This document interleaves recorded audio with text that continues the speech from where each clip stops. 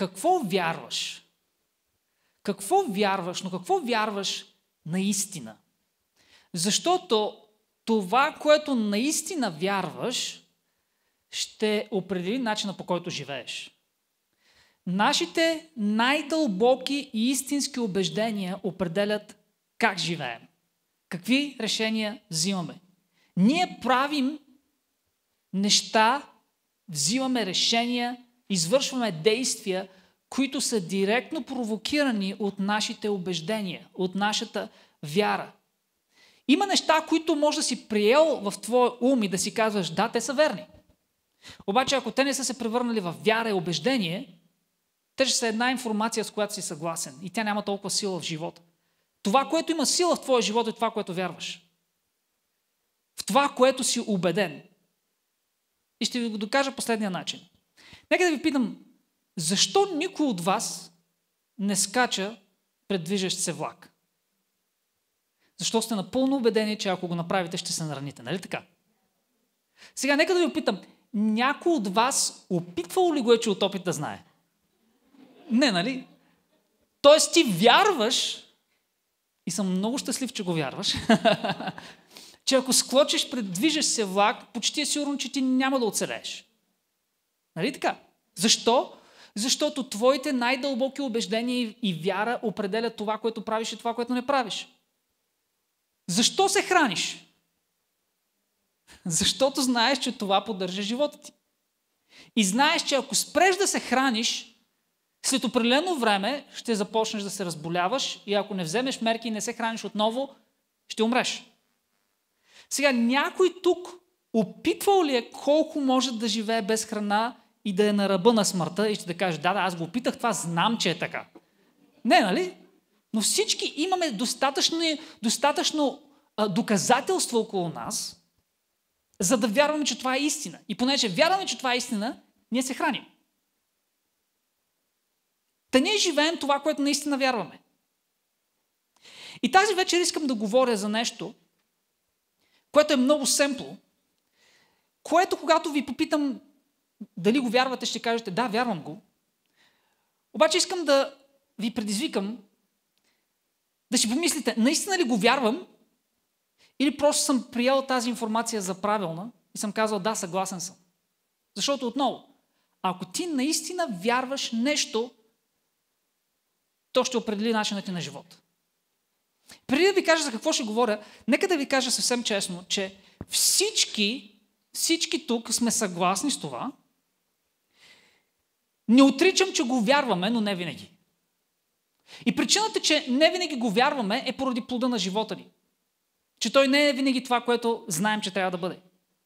Тази вечер ще ви говоря за следното. Ще ви говоря, че Бог има най-доброто за теб. Дявола има най-лошото за теб. И дявола се опитва да те убеди, че Бог има най-лошото за теб. Бог има най-доброто за теб. Дявол има най-лошото за теб. И дявола се опитва да те излъже, че Бог има най-лошото за теб. При което всички си кажем, да, разбира се, че го вярвам. Ако наистина винаги го вярвахме, винаги щяхме да живеем така, както Бог иска, а не така, както ние искаме или света ни казва да живеем. Всъщност, всеки път, когато не живеем по начина, по който знаем, че Бог ни казва да живеем, е признак, че ние наистина не вярваме, че Бог има най-доброто за нас. И ние си мислим, че това, което избираме ние, то е по-добро от това, което Бог има за нас. Защото отново, нашите най-дълбоки убеждения, нашата вяра определя това, което правим, това, което не, не правим. И всъщност, целият християнски живот се заключава в това да преборим лъжата, че Бог има най-доброто за нас. Това, което дявола ни тласка да правим, е лошо за нас. И да преборим лъжата, че Бог има най-лошото за нас. Всъщност това е най-старата лъжа.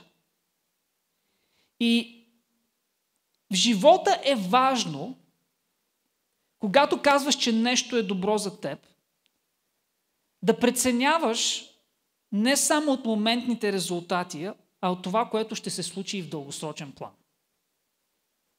Тоест, начинът по който определяме едно нещо, нещо дали е добро или не за нашия живот, не е само това правя го и какво веднага се случва, а правя го и в дългосрочен план какво се случва.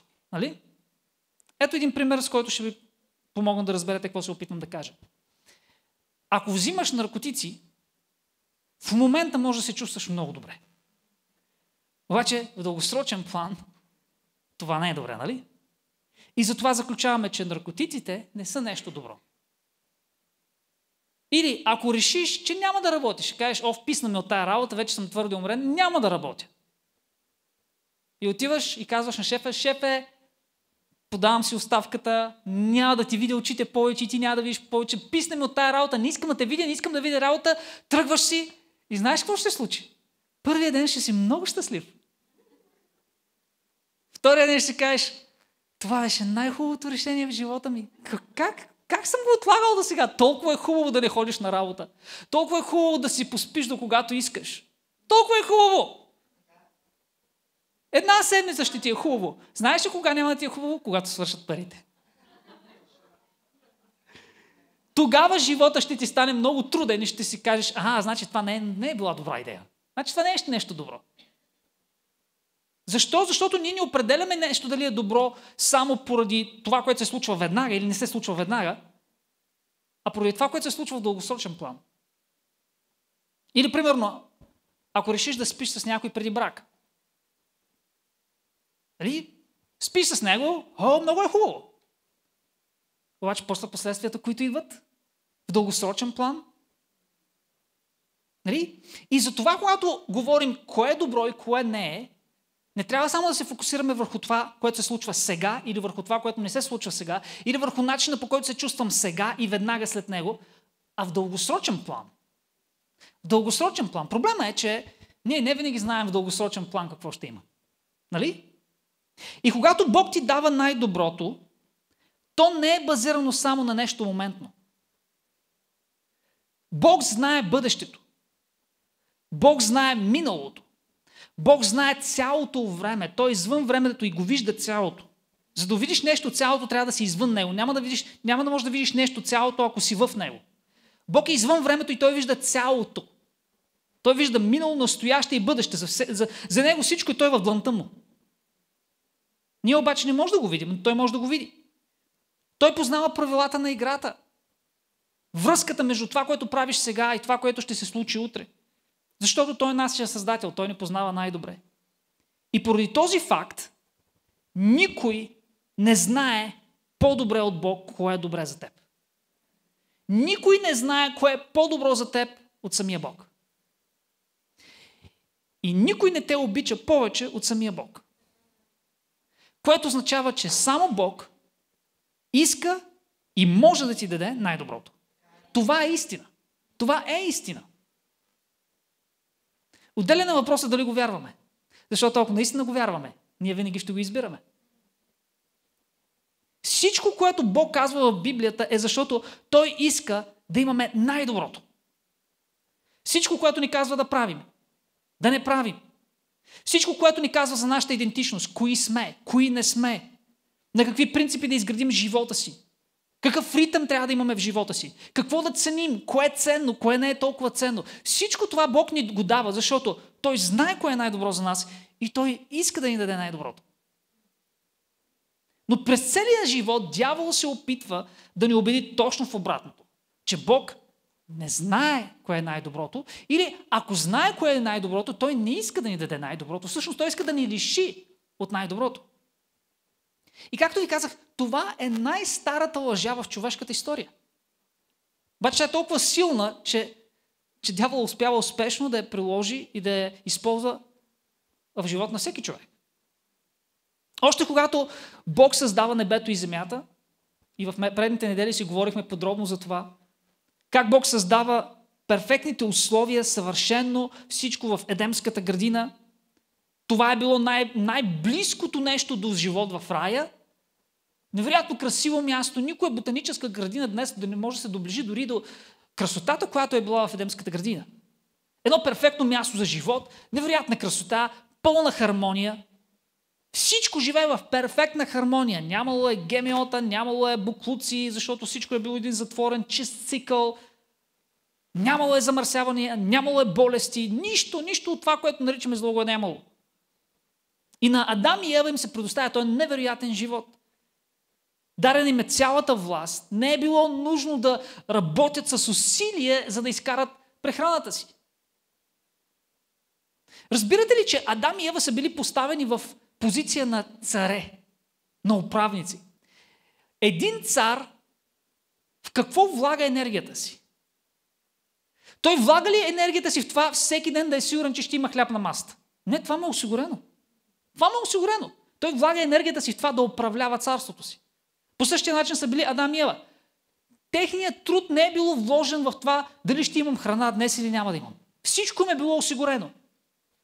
Те трябвало като царе на това място да управляват това място. Невероятен живот. И представи си най-приятното нещо, което можеш да правиш в момента. Представи си най-приятното нещо, което можеш да правиш в момента. Най-любимото ти, което е най-много удоволствие. Представи си сега, че като го правиш, изкарваш автоматично пари от него. И не трябва да работиш за прехраната си. Да не е нужно да правиш нищо друго за съществуването си. Просто правиш това, което е приятно и автоматично генерираш пари и имаш всичко, което имаш. Е, това е било живота на Адам и Ева. Нали, тогава не е имало пари, но всичко им е било осигурено. Имали се разнообразна храна, всичко им е било на буквално една ръка разстояние. Просто да отидат до дървото и да си го откъснат. Да отидат до цветето и да си го откъснат. Представяш ли си да излезеш в града и да можеш да имаш всичко, което си пожелаеш? Вървиш си по улицата, тази кола искам я, твоя. Влезеш в магазина, тези, тези, тези, тези неща, искам ги, твои са. Влизаш в магазина за дрехи, искам тези, тези, тези дрехи, твои са. Отваряш Инстаграм и виждаш някой курорт, искам да съм там, штрак с пръсти и си там. Ето това е било живота на Адам и Ева. Всичко, което видят, те могат да го имат. Какво по-добро от това? Какво по-добро от това? Единствено ни им е било позволено да ядат от едно дърво. И можем само да си представяме какво е да живееш по този начин. Те са имали най-прекрасния живот, който някой човек може да си помечтае. Всъщност, знаеш ли често откъде идва твоето нещастие? Не от това, че това, което имаш, не е хубаво. А че си отваряш телефона и виждаш много по-хубави неща. Те са били благословени в това, че е нямало нещо по-хубаво. Не са имали Инстаграм. Но и дали да са имали, не е имало нещо по-хубаво, което могат да видят. Те са били в най-най-най-най-най-доброто. Както си говорихме предните недели, не е имало заплахи, корупция, лъжи, убийства, престъпления, всичко това, което ни кара да страдаме, болести, всичко е било създадено перфектно, най-доброто. Защо? Защото Бог знае кое е най-доброто за теб и защото Бог те обича достатъчно, за да иска да го имаш. Помисли се за рая. Той е най-доброто, което Бог има за теб. Един ден ти ще бъдеш в най-доброто място, което Бог има за теб. Дори не може да си представим колко е невероятно, но представи си най-хубавия живот, който можеш да имаш. Представи си най-хубавото място, на което живееш. Представи си най-хубавите хора, с които можеш да си заобграден. Живота в рая е далеч по-добро от това. Раят е светлинни години по-хубаво от това. И сега представи си всичко това, което ти описах. Което дори не може, не може да си го представим, но колкото можеш, използвай своята въображение. И точно там, точно там идва дявол. Идва и започва да подмамва и да лъже Адам и Ява. И започва да им казва, ма вие сигурни ли сте, че не трябва да ядете от това дърво? Ми да, да, Бог каза. Той каза, ама той иска да ви лиши от нещо. При което си кажеш, добре, как можеш да живееш на перфектното място? На най-доброто място, в пълно съвършенство. И да повярваш, че това не е най-доброто. И да повярваш, че Бог иска да те лиши от нещо. Бог ти е дал съвършенство и ти смяташ, че Бог иска да те лиши от нещо. Обаче това е най-старата лъжа. Бог не ви е дал най-доброто. Бог иска да ви ограничи. Той крие неща от вас. Има нещо по-добро от това, обаче той не иска да ви го дава. Защото той не иска да ставате като него. Ще му бъдете конкуренция. Дали? Колко смахнато и, и заблудително звучи всичко това. Но най-старата лъжа. Бог ви лишава от удоволствия, които може да имате. Приятели, не са ли това същите лъжи, с които днес ние сме лъгани? Млади хора, не са ли това същите лъжи, с които сте лъгани във вашите мисли? Да живееш като вярващ, че ти ще пропуснеш страшно много. Да не спиш с мъже и жени преди брака. Ти лут ли си? Ти знаеш колко ще пропуснеш? Да бе, там Библията, една стара книга ти казва, че Бог иска да те благослови. Хайде сега. Я го виж. Я я виж. Друго си е да се качиш на Ферарито.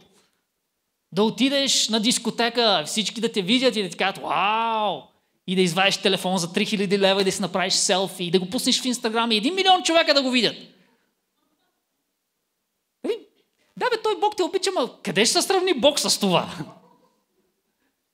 Разбирате ли, че всеки път, когато избираме нещо друго, а не Бог, ние се хващаме на тая лъжа, която когато обяснявам, звучи толкова абсурдно. Обаче сме толкова податливи на тази лъжа. Толкова податливи на тази лъжа. Всъщност, тази лъжа е още по-стара от сътворението. Библията ни разкрива, че преди дявола да стане дявол, той е бил един от ангелите в небето, на име Луцифер. И Луцифер, самото хипер, мега съвършенство, рая, Бог където живее, успява да заблуди една трета от ангелите. Че те могат да бъдат нещо повече от това, което Бог е създал да бъдат. И Бог ги ограничава и затова трябва да се надигнат на бунти, да направят преврат небето и да свалят Бог и тогава Луцифер да поеме аз, аз, аз ще ви помогна да постигнете пълния си потенциал. Вие в момента не живеете в пълния си потенциал. Аз ще ви помогна да живеете в пълния си потенциал. Това толкова ми звучи на съвременните гурута и New Age и така нататък. Ще ти дам... Ето, ето, ето формата да живееш пълния си потенциал. Ти знаеш ли? И, и то е мит, само да ви кажа. Това е мит. Ти знаеш ли, че ти използваш едва 7% от мозъка си? Едва 10%. Това е глупост, хора. Това е пълна глупост. Няма такъв научен факт или доказателство, че ти използваш само 3 или 7 или 10% от мозъка си. Обаче, това е, това е, това е голямата лъжа и голямото изкушение. Да повярваш, о, чакай малко, ти си мислиш, че живееш добър живот? Има нещо по-добро. Има нещо по-голямо. Има, има друго измерение. И както си щастлив, ставаш нещастен.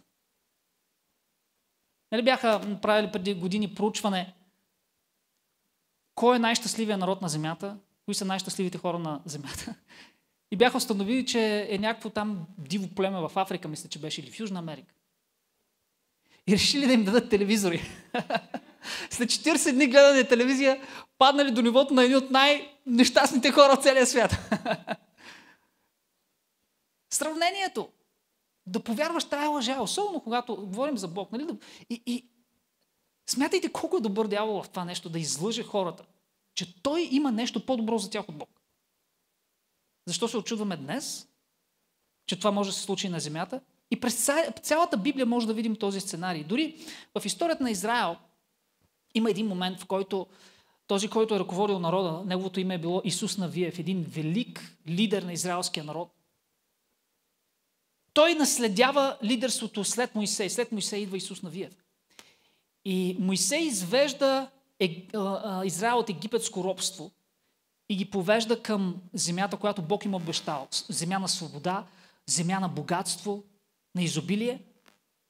Обаче поради куп причини, ако не знаете историята, прочетете си я, Моисей не успява да въведе израелския народ. Исус Навиев го наследява и той въвежда Израел в обещаната земя. И сега си представете, Исус Навиев въвежда един народ, който е преживял великите чудеса на Бог. Тези хора, дори от първа ръка, защото четем, че техните родители умират и всъщност следващото поколение на Израел влиза, но те са знаели от историята на своите родители. Чудесата, които Бог е извършил в Египет, за да ги освободи. Разделянето на Червено море. След това тези деца са живели 40 години в Божието свръхестествено чудо, че в пустинята Бог директно ги е хранил. Четем, че Бог е изпращал манна от небето, която да пада на земята, не може да обясним какво е това, но описва, че е било като хляб. Събирали са го и било е като хляб. И вечер в пустинята свръхестествено им праща птици, които те хващат и ги сготвят и ядат месо. Прясно изпечено месо. И това се случва всеки ден в продължение на 40 години. И после Исус Навиев взима този народ и го въвежда в обещаната земя, където трябва да преборят няколко народа. Да завземат градове. Някои от тези народи са много силни. Някои от тези народи са имали великани. И всички тези хора са преживели чудесата на Бог.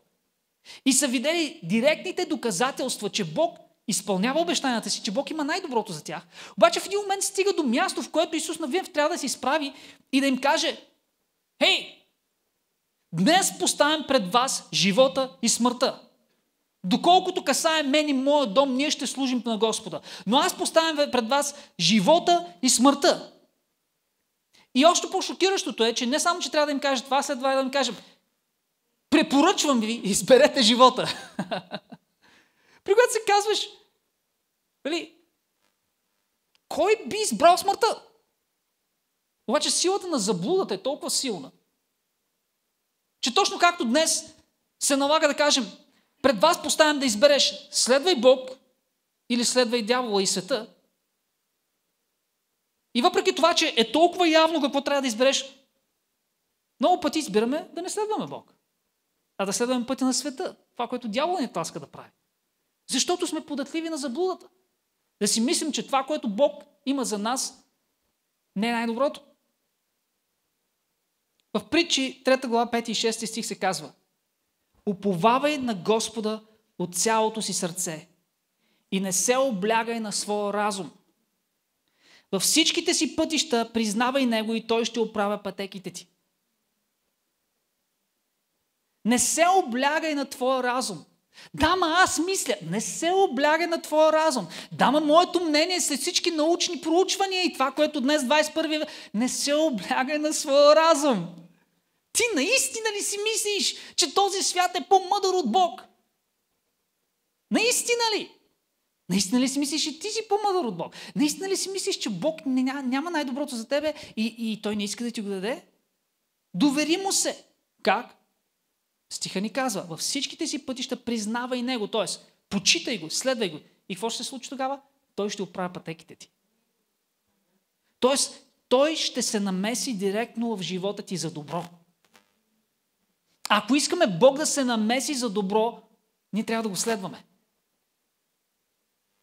Нали, този стих, който изповядваме, всичко се действа за добро. Искаме, а, значи, каквото и да прави, каквото и да се случи. А, а, всичко се действа за добро, продължи нататък. За тези, които обичат Господа. Какво значи да обичаш Господа? Исус много казва ясно. Тези, които ме обичат, изпълняват заповедите ми. И сега казва, всичко се действа за добро за тези, които обичат Господа, за онези, които са призовани според Неговата воля, според Неговия призив. Тоест, ако искаш това да работи за теб, не очаквай Бог да е в твоя план, а ти трябва да се включиш в Божия гениален, огромен план. Не очаквай Бог да следва тебе като едно кученце, което само да казва, да чака, кажи, кажи ми какво направиш, ще го направя. Не, не, не, обратно. Ние трябва да следваме Бог и постоянно да го гледаме и да сме фиксирани на Него и да кажем, Господи, каквото кажеш, ще правя. Исус казва за себе си, когато е бил на земята, аз не правя нищо, освен това, което виждам моят отец да прави. Сами Исус, Божия син, на земята, слязал, смирил се с себе си, влязъл в човешки образ и въпреки това 100% Бог, казва, аз не правя нищо, защото аз си мисля, че е добро, но аз гледам, аз съм се фиксирал върху Бог. Върху моят отец. Следвам Него. И правя само това, което виждам, че Той одобрява само това, което е в Неговата воля. Защото ако искаш Бог да бъде част от твоя живот, ти трябва да се включиш в Бог. Така че не се оповавай на своя разум. Той ще те води при най-доброто, когато го следваш. И само си помисли, мислиш ли, че Бог би дал най-доброто? Защото когато Исус изпра... Бог изпраща Исус на земята, Той дава най-доброто. Мислиш ли, че Той би дал най-доброто за да имаш един мизерен живот? Един, един български пастор беше казал, никой бизнесмен не прави такава инвестиция да дава най-доброто и да очаква мижеви резултати, нали? Ако Бог даде най-доброто си, не мислиш ли, че Той го прави, за да имаш най-доброто? За да имаш най-добрия живот. Когато Бог е платил сметката, нашата сметка на кръста за греховете ни, Той го е направил, за да получим най-доброто. Дори ние хората, които сме глупави в сравнение с Бог, не правим големи инвестиции и да очакваме да получим малки резултати, нали? Въпросът е, че когато говорим, че Бог иска да има най-добрия, имаме най-добрия живот, много често ние не знаем какво е най-добрия живот. Много често си мислиш, че едно е добре, минава, минават години, тогава разбираш, че това не е добро. Така че, ако се оповаваш на своя разум, много пъти ще бъркаш. Затова се довери на Бог, че Той знае кое е най-добро и че Той знае как да те заведе там, където е най-добро. И това е една линия, и това е една истина, която може да видим в цялото Слово. Отново и отново. Има една история за един човек в Библията, наречен Йосиф. И ако не сте чели, насърчавам ви, прочетете си я, защото това е една впечатляваща история. И ако четете края на историята, за тези, които не сте я чели, ще ви кажа как, как завършва. Завършвайки тази история, тя е многогодишна история, накрая виждаме, че Бог наистина го благославя и Бог му дава най-доброто. Защото края на всичко е, че Йосиф става втори след императора и реално той управлява цялата египетска империя и благодарение на това той държи в ръцете си всички економически лостове на властта, чрез които той осигурява хранителен запас за, за египетската империя, включително и спасява своето семейство, израелския народ, поради това, че има тази позиция. Дори съм сигурен, че, че поради него е са били спасени и други народи, които са ходили и са купували а, от тях храна, когато са настанали гладните години. Но когато погледнем края на историята, виждаме, да, Бог е имал най-доброто. Бог е благословил с най-доброто. Защо? Защото четем, че Йосиф във всичко е проявил търпение, характер, не се е отказал от Бог, но му е оставил, останал верен до край, въпреки че в много периоди и моменти от неговата история е изглеждало така, сякаш това не е най-доброто. Сякаш всъщност това е точно обратното на най-доброто. Обаче той е изчакал до край. Изчакал е до край да получи своята награда. И понеже ние виждаме тази история днес и я четем години, години, хиляди години по-късно, можем да видим края и, и, и да разберем цялата картина. Обаче, ако започнеш да четеш тази история за първи път от начало и не знаеш какъв е края, сигурен съм, че някъде по средата ще повярваме точно на тази лъжа, че Бог няма най-доброто за него. Защото тази история започва когато той е дете и се ражда в едно семейство, в което баща му започва да го предпочита и разбира се, другите му 10 по-големи братя го намразват. Бог, задава, Бог, Бог започва да му дава невероятни сънища, че той един ден ще бъде в управленски позиции и той започва да се хвали напред и назад. Това кара още повече братята му да го намразват. Явно е бил голям самохвалко, с, така, с самочувствие, вървял си е мислил, че е повече от другите. И разбира се, е спечелил зависта и омразата на, брат си, на братята си, докато един ден нещата не се обръщат така, както никой не е предполагал. Един ден неговите братя го хващат и искат да го убият. И в край на края ще решават да не го убиват чак, но го продават в робство на едни търговци. И така той стига до Египет и започва да работи като роб в дома на един богат египтянин. И с годините, понеже обаче той е работил като човек с добър и богогоден характер, Бог го издига в дома на господаря му, защото той е бил успешен във всичко, което е правил. И може би си казваме, четейки тази история, ако стигнем до тук, си казваме, е, ето, може би това е най-доброто, което Бог има за него. Ето, Бог го благославя. Въпреки, че лоши неща му се случиха, ето сега той е в дома на един богат човек. Да, имало е тежко минало, но ето, изплува. Сега вече е в управленска позиция. Сигурно живее по-добре, отколкото е живял при семейството си, въпреки че няма по-добро място от семейството. Но тогава четем, че един ден жената на богатия господар идва и иска да спи с него. И какви ли мисли, може би, са минавали през главата му? Много теолози казват, че сигурно, не го четем това в Библията, предположения са, но сигурно това не е било първия път на тая жена. Не е бил първия обект на неговото желание. И сигурно и той е бил изкушаван от мисли, защото това не се е случило само веднъж, но тя е искала все, дни наред, отново и отново и отново, и той е отказвал явно. И сигурно си е казвал, бе, виж колко е хубава, какво ще стане, айде само един път. Още ли пазиш този глупав морал, до кога ще чакаш? Какво толкова се пазиш? Виж всички, всички около тебе, никой не спазва този морал. Този морал, твоите устарели родители са го имали, вече живеем в други времена. Айде, станал си голям мъж, колко време ще се лишаваш от такива удоволствия? Ами помисли си, че ако я угодиш, тя може да отвори пък врати за възможности за тебе. Ако ни угодиш, може да си имаш проблеми. Мисли от рода на... Виж, ако, ако кажеш не на това и ако станеш верен на Бог, разбираш ли колко много ще изгубиш? Не виждаш ли колко много пропускаш, когато останеш верен на Бог? Обаче той не се подава на тези изкушения. Той казва не, той е категоричен и тя му се ядосва и за да се отмъсти, сигурно това е наранило и нейното его, как някакъв роб на мен ще ми откаже?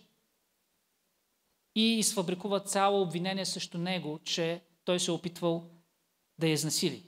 И разбира се, в тези времена ще повярват на господарката, не на един роб. В резултат на това го хвърлят в затвора. И тогава, може би, същия глас му е казал, аз казах ли ти? Видя ли? Виждаш ли колко си глупав? Бог няма най-доброто за тебе. Той ти пречи да имаш най-доброто. Видя ли сега какво стана, като беше верен на Бог? Видя ли къде го докара? Виж до къде стигна. За какво беше сега цялата тая жертва, а? За какво се пази да застигнеш до дупката на затвора ли? За какво ти бяха те измислени стандарти? Виж какъв свят живееш. Йосиф е, това не ти е дума на баща ти, това е Египет. Това е реалният живот. Ти си мислиш, че там оная църквич, където ходиш и, и си ги говори тези неща, да, ама като излезеш навън е различен реалният живот. Там тези стандарти не работят. Сега живееш в друг свят. Този морал не, не работи в този свят. И той попада в затвора и сигурно е било ужасно. Но отново четем, че понеже той носи в себе си Божията природа, верността си към Господа. С характера си, дори в затвора, с времето той добива позиция и става като управник на затвора. Въпреки, че е затворник, толкова му се доверява, че му поверяват управлението на затвора. И дори там постига позиция и сигурно си каже, да бе, то пък една позиция да си управник в затвора, затворник, нали, какво толкова? Окей. Но въпреки това, ти гарантирам, че ако не правиш компромис с Бог, и имаш благоугоден характер и си верен на Бог, дори в най-голямата дупка да попаднеш, Бог ще те издигне на високо. Ако живееш с вярата, че Бог има най-доброто за теб и не правиш компромиси с покорството си към Него, Той ще те издигне където и да си. И тогава четем, че един ден двама от затворниците сънуват сънища. И са били много разтревожени от сънищата, какво означават. И понеже Йосиф е носил духа на Бог в себе си, той има от Бог дадена способност да разтълкува тези сънища. Съня на един, на един е показал, че след три дни той ще бъде възстановен на позицията си като виночерпец на фараона. А съня на другия е показал, че след три дни той ще бъде екзекутиран. И точно и така се случва. И когато виночерпеца излиза, Йосиф му казва, моля ти се, като имаш удобен случай, говори на фараона за мен и кажи, че аз тук съм попаднал и вече 12 години. 12 години! Стоя тук поради една лъжа. Аз съм невинен, те ме обвиниха за нещо, което не съм направил. И четем, че виночерпът се казва, добре, излиза. Обаче две години по-късно нищо. Виночерпът се забравя. И тогава един ден фараона сънува сън. И този сън толкова много го разтревожва. И започва да пита всички свои съветници. Какво означава? Кажете ми, какво означава този сън? Всички дигат рамене, никой не знае. И тогава виночерпец се чува. И си а, може ли да кажа нещо? Нали, знам, че не ми е мястото.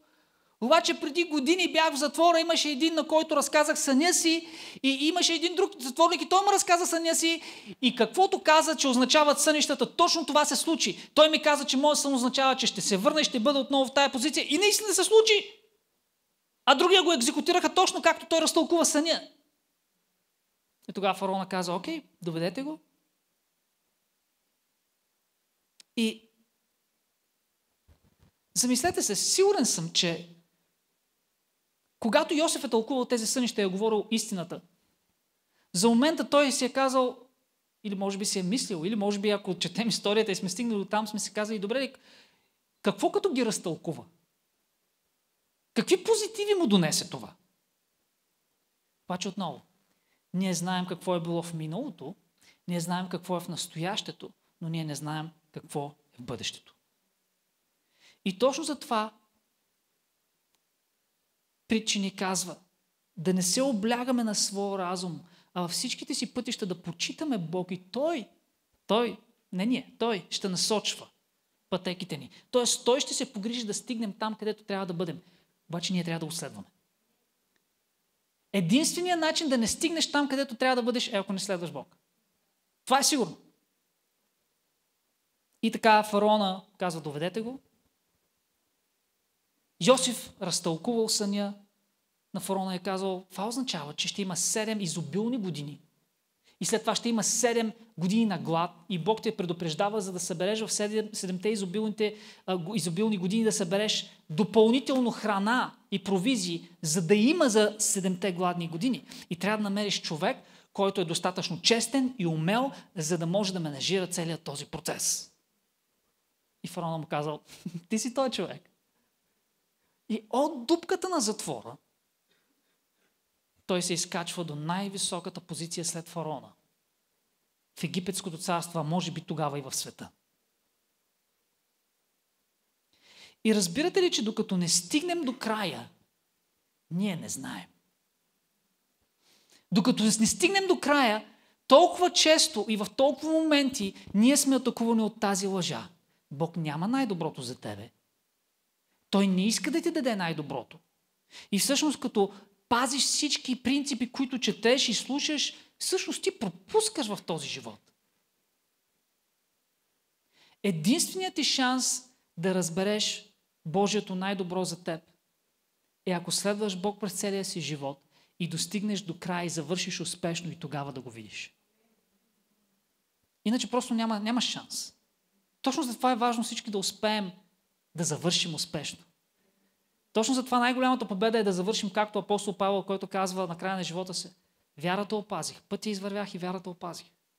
Тоест изминал си пътя, който Бог е имал за теб и в цялото това пътуване си опазил вярата. И какво, е, какво ти остава? Да получиш наградата. Да получиш наградата.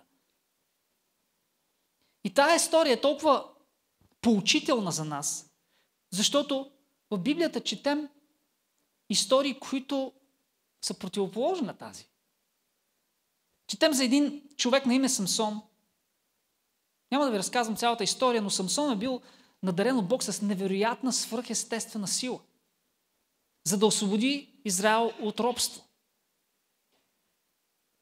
Обаче той е пропуснал Божието най-добро, защото е пренебрегнал Бог. Той не е живял по начина, по който Бог му е казал. Той си е мислил, че е голямата работа и че може да се прави каквото си иска.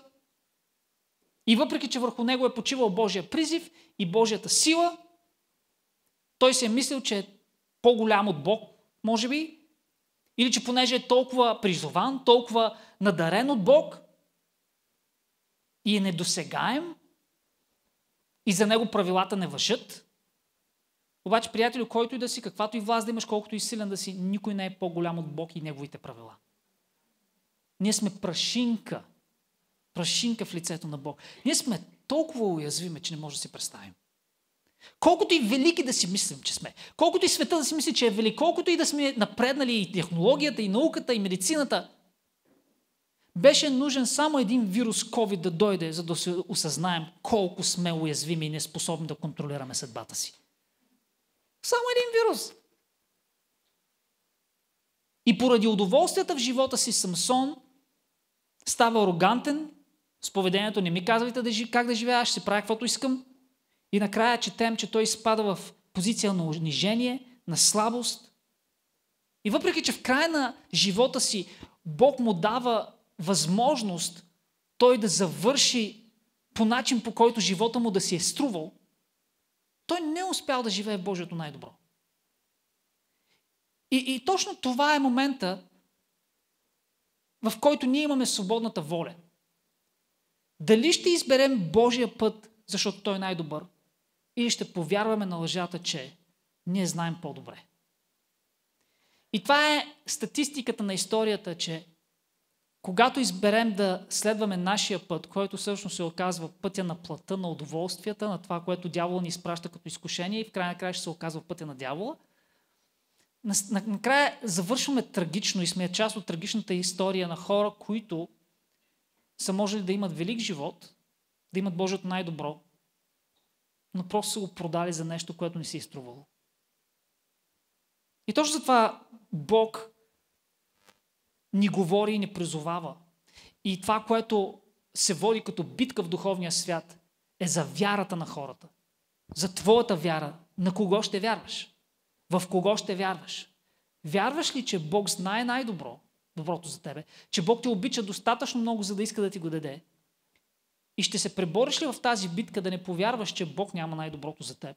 Но във всяка ситуация да избереш Него, за да получиш Божието най-добро. Псалом първи казва, блажен онзи човек, какво значи блажен? Хиперщастлив. Това е най-високото ниво на щастие, на удовлетворение, да се чувстваш доволен от живота си. Блажен онзи човек, който не ходи по съвета на нечестивите. И в пътя на грешните не стои. И в събранието на пресмивателите не стои. А ако ти стоиш далече от това, ти ще си добре. Защото да, стали, да стоиш далече от това означава да стоиш в закона на Господа. И това е, което втори стих казва. Но се наслаждава в закона на Господа и в неговия закон се получава ден и нощ. Ето това е един ключ. Ще ни е много трудно да побеждаваме в тази битка, докато не започнем да обичаме закона на Бог и да мразим греха. Много е трудно да кажеш не на нещо, което обичаш. И докато ние не започнем да виждаме греха, както Бог го вижда, като отрова, като рак, който иска да ни унищожи и да ни отдели от Божието най-добро. И пак се връщаме на тая лъжа. Докато ти не прогледаш за тази лъжа, докато ти не се пребориш в живота си и да разбереш, че Бог има най-доброто за теб и всяко друго нещо ще те отдели от Него, ще ти е много трудно да се справиш с греха. Докато не намразиш греха, ще ти е много трудно да победиш греха. Докато не заобичаш Бог и Неговия път, ще ти е много трудно да го избираш. И ще ти е всеки път, ще, ще, си мислиш, че правиш най-голямата жертва. О, не искам да го избирам, ще го направя и съм голям герой. Приятели, от, от, от погледа на вечността изглеждаме толкова глупаво, когато се държим по този начин. Тоест ти искаш да кажеш, че ти е толкова трудно да се откажеш от пътя на болката и да избереш пътя на благословението, където дори да има болка, тая болка си струва, защото после получаваш много по-голяма награда от болката, която си преживял. Искаш да кажеш, че да входиш в пътя на болката, защото просто се пускаш по течението, е по-хубаво, обаче после страдаш, страдаш, страдаш и това страдание няма никакъв смисъл и накрая завършваш най-голямото страдание. Искаш да кажеш, че е голяма жертва да оставиш този път и да хванеш другия път, който е благословение, който е дори в болката имаш смисъл и накрая завършваш с велика победа и имаш съвършен живот в присъствието на Бог. Искаш да кажеш, че това е трудно? Обаче, докато ние не можем да видим пътя на Бог по начина по който Бог го вижда и греха както Той го вижда, ще не е много трудно да се справи. Защото точно това се казва. Блажен онзи човек, който не ходи в съвета на нечестивите. Ще бъдеш благословен, когато не ходиш и не живееш така, както света ти казва, че живееш. И в пътя на грешните не стои, не правиш нещата, които грешните хора правят. И в събранието на пресмивателите не стоиш ако продължаваш да стоиш в присъствието на хора, които само ти се подиват, ти ли бе, каква е тази църква да ходиш там и какво, и какво ще се пазиш и няма да откраднеш и няма да излъжеш, ти си глупа, бе, ти не можеш да оцелеш в 21 век. Ако там стоиш постоянно, няма шанс да бъдеш благословен. Няма шанс да бъдеш блажен. И идва другата страна, но се наслаждава на закона на Господа. Докато не почнеш да обичаш закона на Господа, пътя на Господа. И знаете ли как го обичаме? Казва се, че в Неговия закон се получаваме ден и нощ. Тоест, за да се насладиш на нещо, прекарай достатъчно време с Него, докато го заобичаш. И всъщност Новия Завет казва, че закона на Господа, когато се предадем на Него, закона на Господа се написва на сърцата ни. В Стария Завет закона е бил написан на нея плочи, които Моисей взима от планината Синай, десете Божии заповеди. Обаче в Новия Завет се казва, че закон на Господа се написва на плочата на сърцето ни. Знаете ли какво означава това? Вътрешна промяна. Вътрешна промяна. И няма как да победим и да изберем пътя на Господа, докато няма вътрешна промяна. Но за да има вътрешна промяна, трябва да стоиш с този, който може да те промени отвътре. Трябва да стоиш закона на Господа, в Словото на Господа, който всъщност е живота на Господа, който да те промени отвътре. Не се чуди, защо не можеш да избереш Бог, след като я се появиш неделя на църква, я не. Цяла седмица я се сетиш да кажеш някой думичка на Бог, я не. Сещаш се два пъти в седмица, че трябва да прочетеш Библията, обаче после първо забравяш, защото имаш много работа. Обаче Фейсбук и Инстаграм не ги забравяш. Не ги оставяш. Телефона, ако провериш колко часа са на ден си с него, не забравяш да отидеш на тренировка. Не забравяш да излезеш с приятели. Обаче закон на Господа ми забравя го. Ми много съм, нали, много съм изморен, много съм зет. Човек няма как да стане. Няма как да стане. Не става въпрос за съдене, не става въпрос за обвинение, просто да си обясним как работят нещата, нали? Ако искаш Божието най-добро, трябва да избереш Божието най-добро. Но много често ние не, не можем да го изберем или не го избираме и нямаме волята и силата да го изберем, защото сме повярвали на лъжата, че Бог няма най-доброто за нас. Причината да вярваме на лъжата, че Бог няма най-доброто за нас, е защото не сме прекарали достатъчно време с Бог и в Неговото Слово, за да повярваме, защото вярата идва от какво? От слушане на Божието Слово. Разбирате ли как са вързани нещата? И затова всеки път аз като пастор а, идвам и ви казвам, хей, къде си, защото те няма на църква, давай. Това не е за да те обвиня, не е за да те накарам да се чувстваш гадно, защото разбирам, че пропускаш. И това е моята роля като духовен а, наставник на това духовно семейство, да ви тласкам в посоката на Господа и ще продължавам да го правя. И като идвам и ви казвам нещо, което усещам, което ви виждам, а, не го приемайте като обвинение, а го приемайте като любов, че Бог достатъчно се интересува от тебе, за да изпрати пастора на църквата.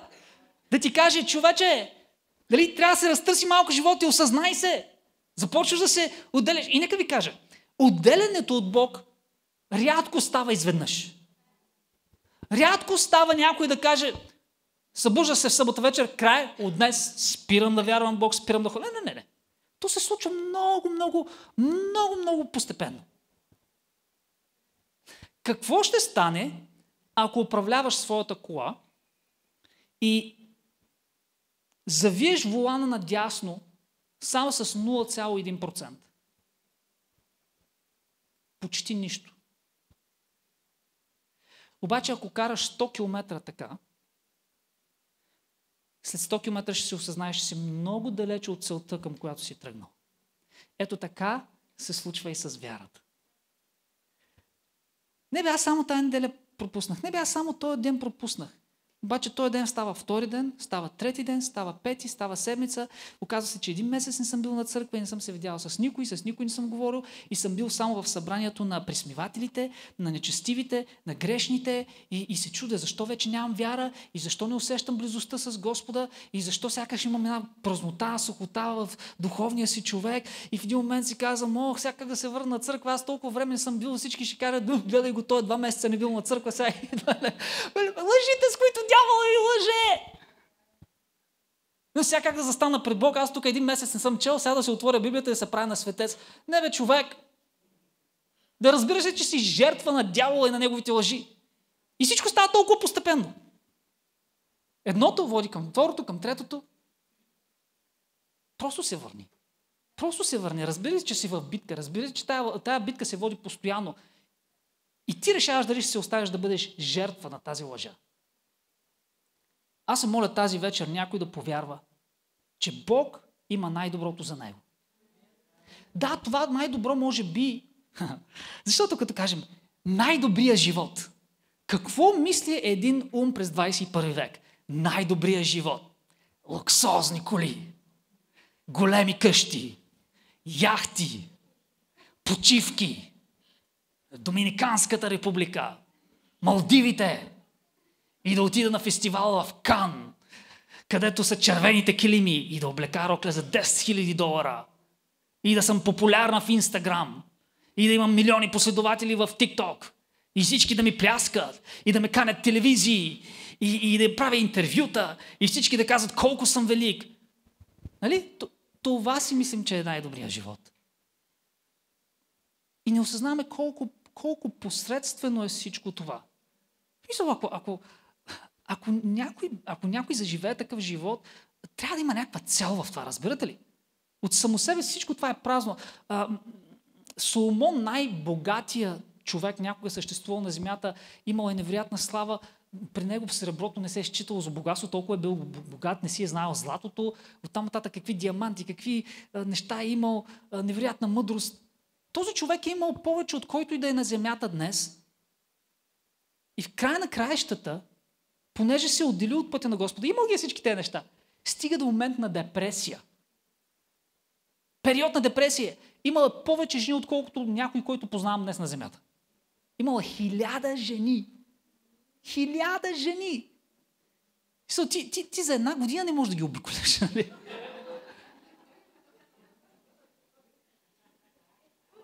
Нали каза, че властта и парите понякога ти карат нещо да мръдне мозъка. Буквално е бил мръднал в цялата си богатство и мъдрост в един момент е изперкал човек. И стига до момент, в който каза, знаеш какво, имам всичко, имам всичко.